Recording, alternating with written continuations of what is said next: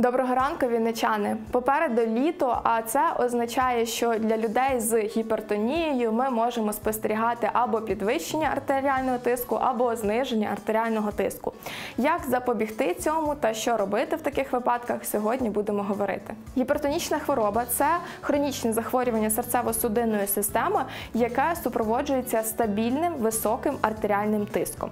Артеріальний тиск поділяється на систолічний або верхній і діастолічний. Норма артеріального тиску це до е, 140 на 90 мм ртутного стовпа. Основними причинами виникнення гіпертонічної хвороби є спадковість або генетична схильність, є надмірна маса тіла, є вживання алкоголю або тютюнопаління, неправильне харчування, недостатня кількість фізичних навантажень тощо. Основні симптоми гіпертонічної хвороби це запаморочення, це головний біль, особливо по тиличній ділянці. Іноді це може бути нудота або відчуття мушок перед очима. Ці симптоми можуть виникати в пацієнта, навіть який не знає про те, що це може бути симптомом підвищення артеріального тиску. В спеку е, наші судини розслаблюються та розширюються, і внаслідок цього е, деякі люди відмічають зниження артеріального тиску. Але в спеку також і відбувається підвищення потовиділення і як наслідок згущення крові. Тому люди з гіпертонічною хворобою можуть відмічати і підвищення артеріального тиску.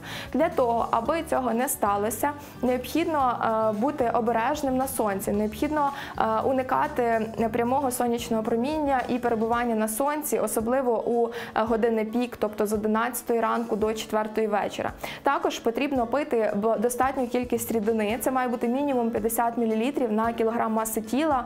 В кожного це буде індивідуально. Обов'язково потрібно правильно харчуватись, вживати достатню кількість фруктів та овочів. Зараз сезон, зараз це є в достатній кількості. Варто займатися спортом для того, аби покращувати тонус судин. Не потрібно вживати алкоголь і палити. Варто зазначити, що симптоми гіпертонічної хвороби можуть з'являтися у людей, навіть тих, які не, не знають, що у них є гіпертонічна хвороба. Тобто е, мерехтіння мушок перед очима, головний біль або загальна слабкість може бути в будь-якої людини. Тому в таких випадках обов'язково потрібно вимірювати артеріальний тиск. Пам'ятайте, що якщо ви відмітили в себе симптоми гіпертонії, обов'язково потрібно звернутися на консультацію до лікаря. Лікар призначить вам перший пункт це модифікація способу життя, другий пункт це ввести е, обов'язково щоденник артеріального тиску, і також е, лікар призначить вам препарати для зниження тиску. Адже, як ми пам'ятаємо, найкраще лікування це профілактика, і профілактика в підвищенні артеріального тиску допоможе вам запобігти розвитку ускладнень гіпертонічної хвороби в майбутньому.